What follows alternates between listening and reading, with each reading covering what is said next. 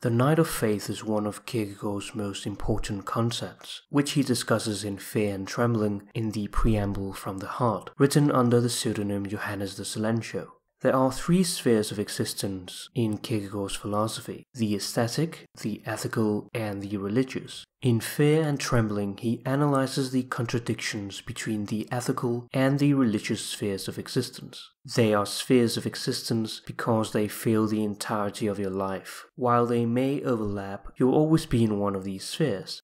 Kierkegaard considered himself religious, but Johannes admits that he lacks faith, for he cannot make the leap. Johannes recounts the biblical story of God telling Abraham to sacrifice his son Isaac. The ethical expression for what Abraham plans to do is that he's willing to murder Isaac. The religious expression is that he's willing to sacrifice Isaac. In this contradiction lies the very anxiety and stress that can make one sleepless. Abraham is not to be understood as someone who could decide not to believe that God existed. His choice concerns rather what one is to hope for or expect given that God does exist. To prove his faith to God, he is, after all, the father of faith. Abraham is entirely alone, and he cannot justify his actions to anyone. He renounces that which he loves most in the world, and thus becomes a knight of infinite resignation, the first step one must take to become a knight of faith. As Abraham is about to sacrifice his son, God sends an angel which points him to a ram that he is to sacrifice in Isaac's place, and Isaac is ultimately saved.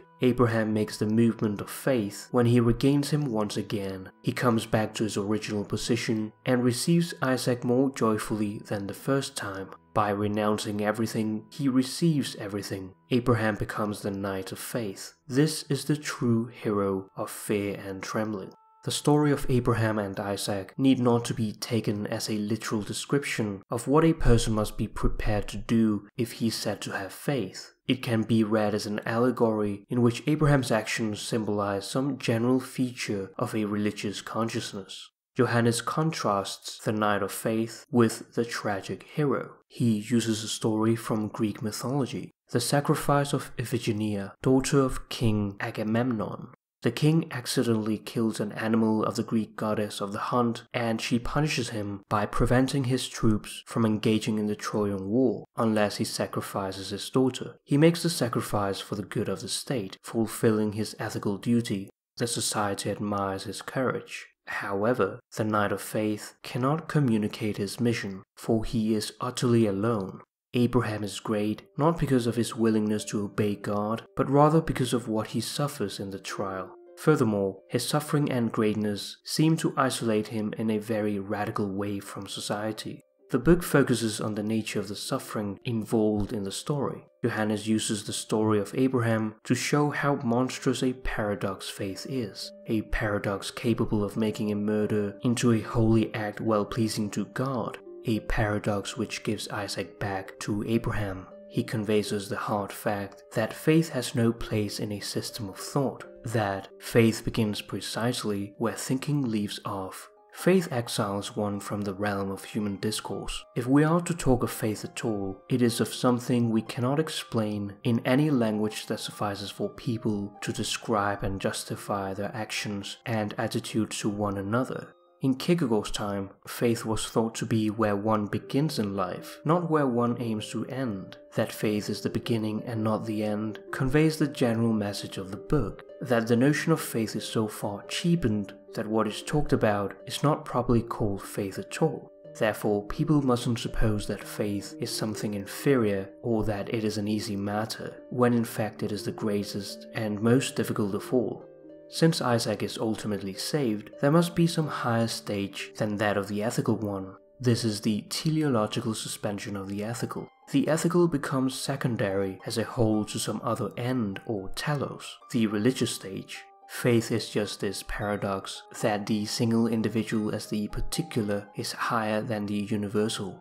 The universal is expressed by the ethical life, where the individual's actions lack a moral aspect unless they are linked to the well being of society as a whole. If the state requires you to execute your son for whatever reason, you must do it. The religious stage is higher than the ethical because it finds the individual as the particular in an absolute relation to God. expressing individuality and inwardness, which is independent from society and which is at the core of Kierkegaard's philosophy. Johannes notes, however, that he has never found any knight of faith, though he would not deny on that ground that they exist. He writes, If I knew where such a knight of faith lived, I would journey to him on foot. I would not let him slip one instant, but watch every minute how he makes the movements. As I said, I haven't found such a one. Still, I can very well imagine him. The moment I first set eyes on him, I thrust him away, jump back, clasp my hands together, and say half aloud, Good God, is this the person? Is it really him? He looks just like a tax collector.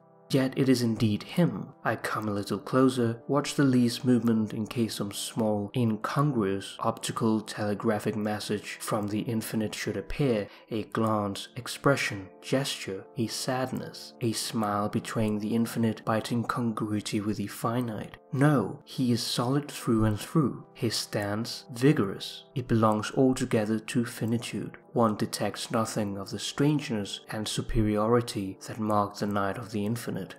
This is quite a different knight of faith as that of Abraham. He looks just like any person, he is not any religious priest, monk or ascetic, but rather participates in worldly affairs just like everyone else, and yet he has made and is at every moment making the movement of infinity, which cannot be seen. He indulges in finitude, which is viewed as important for the trusting character of faith in God. This is, however, not to be confused with the aesthetic way of life, since faith requires resignation. Johannes understands how one can make the infinite movement of resignation with strength, energy, and freedom of spirit, but he cannot understand the movement of faith, where one receives everything back in full by virtue of the absurd, where one renounces everything and regains everything. Johannes can only remain a knight of infinite resignation, he has great trouble hurling himself trustingly in the absurd and calls it an impossible task, a marvel which he can only be amazed by. Alas, this movement is one I cannot make. As soon as I want to begin it, everything turns around and I flee back to the pain of resignation. I can swim in life, but for this mysterious floating I am too heavy to exist in such a way that my opposition to existence expresses itself every instant as the most beautiful and safest harmony. That I cannot. He compares both knights to a ballet dancer. It is said that the dancer's hardest task is to leap straight into a definite position without vacillating and standing there in the leap itself.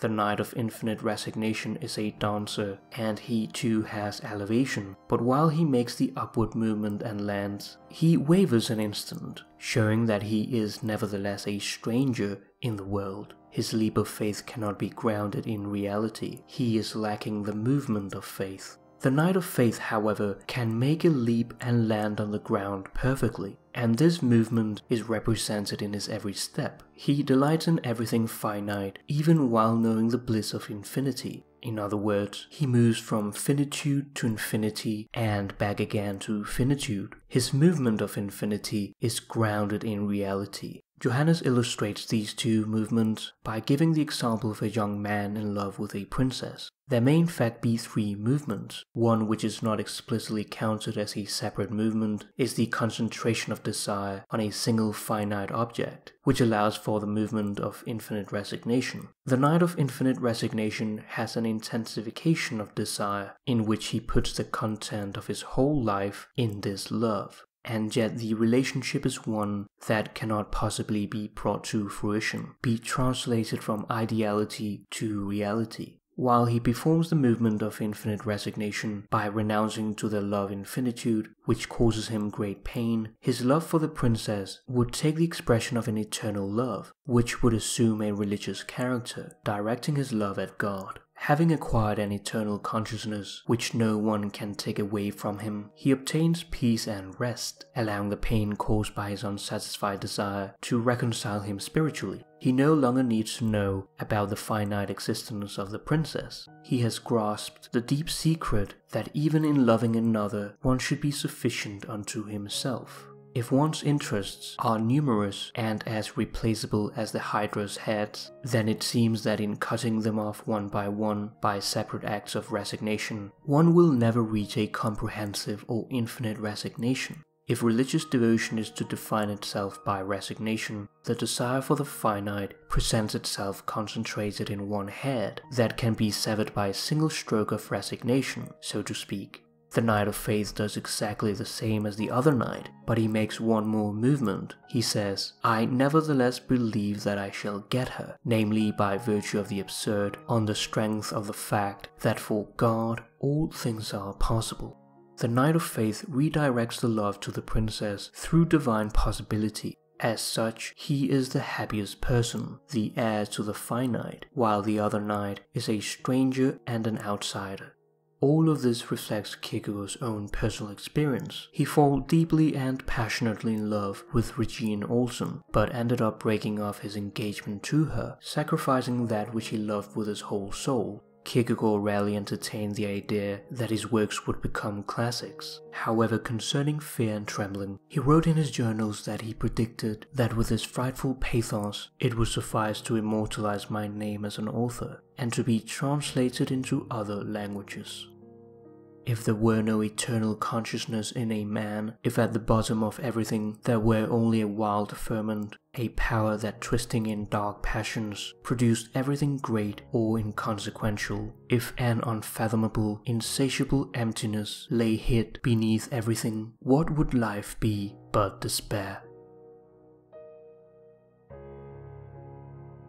I hope you enjoyed this video. You can support the channel on Patreon or by liking, commenting or sharing the content. Thank you for watching.